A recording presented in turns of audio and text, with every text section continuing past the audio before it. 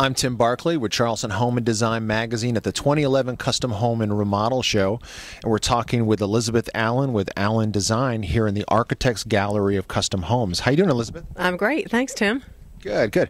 Um, what have you been displaying this weekend uh, for, for homeowners visiting the Architects Gallery of Custom Homes?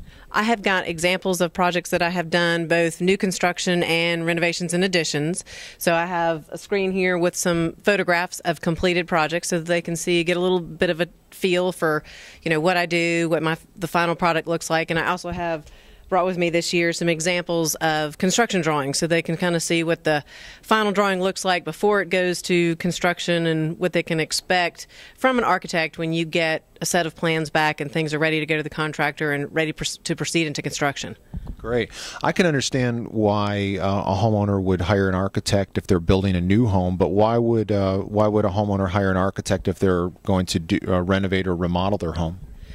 Well, in my opinion, it is almost as valuable or is as valuable on a renovation as it is in new construction because the potential for unforeseen conditions in a renovation is much higher than it is in new construction. New construction is not as messy as a renovation job is.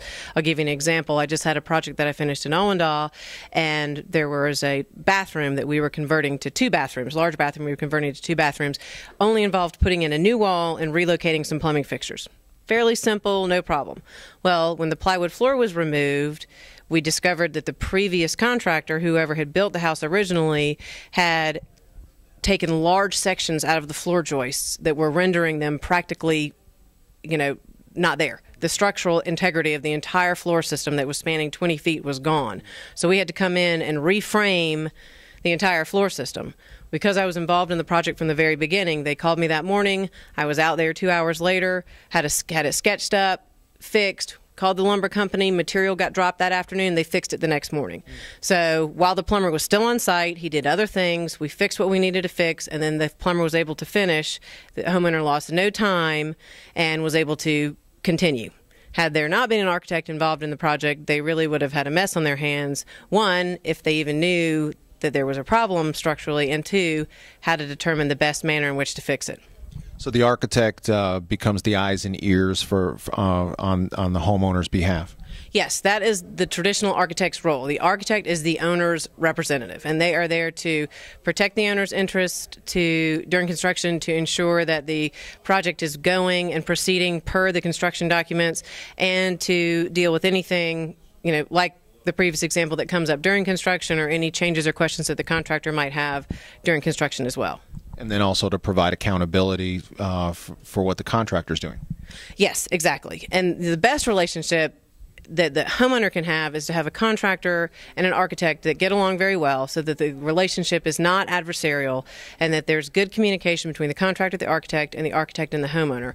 And in the long run, that ends up with a better product, less expensive, more efficient, and everybody's happy in the end. And that's what you want. You don't want a homeowner that, you know, you have a great great process during design. They're so excited and they get into construction, and by the end, they're like, oh, can I just move in? I want to be finished with this. You want them to be excited throughout the process so that when they do move in, they're thrilled. They love the house, they love the final product, and the final product is what they thought it was going to be when they started working with you.